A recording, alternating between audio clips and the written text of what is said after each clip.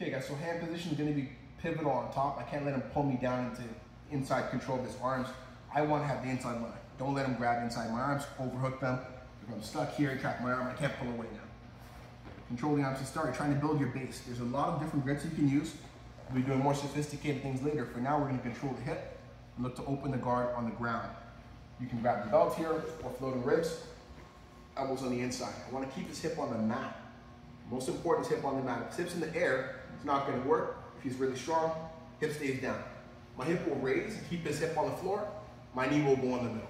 From here, I'm gonna open my leg leg, go on the left side. Left leg is gonna open 45 degrees. I turn my hip so he can't hold the ankles well anymore. Hand in position, keeping him in the middle. Turn my hip, that should open the guard. Here, my knee's in the middle so you can't reclose. You've got your leg locks, different guard passes, etc.